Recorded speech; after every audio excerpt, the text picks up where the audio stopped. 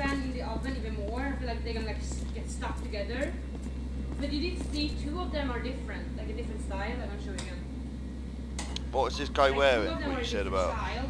You see the one like in the bottom there, this one and this one as well. The other ones like. How do you know it's a guy? That's what like the. Oh, you're saying it was me, so I'm assuming it's a guy. That's what like how did you? I never said it was you. I said there was a person on your bike.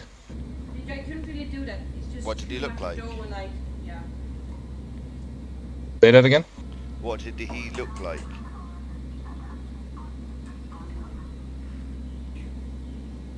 Look the same as your buddy. But we're gonna have to clean What do you mean, afterwards, same as my buddy? I'm here on my own in a into minute. stream instead.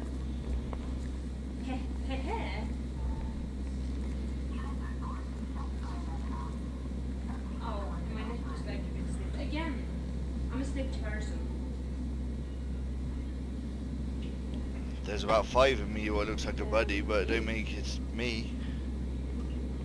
How do you know I never lent to on my bike? What bike was it? Say that again. Number plate. What do you mean? What was the number plate? It was registered to you. That's all I give a fuck about. And how can it be registered to me if you ain't got me a number plate? How do I know it's Jag vet me? inte.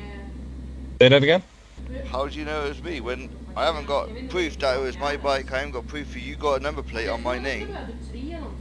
Okay, well you don't need proof that I did my police duty, alright? Well, I'm not paying any fines and I'm not being charged for anything until I get proof of this. Alright, well if you want to take it to court, you can take it to court, but right now we're doing our job, so.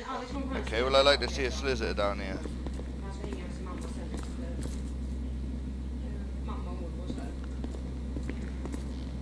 Alright, the bike was a BF400. B And is that not an off-road bike? Exactly. And does an off-road bike have a number plate? No, you tell me. Well, if it's an off-road bike, a BF400 is classed as an off-road bike and it's got no number plate. I don't know, I'm not a bike person. Well, I've had bikes in my life and I've had bikes in my past, and I know for a fact a BF400 has not got a number plate.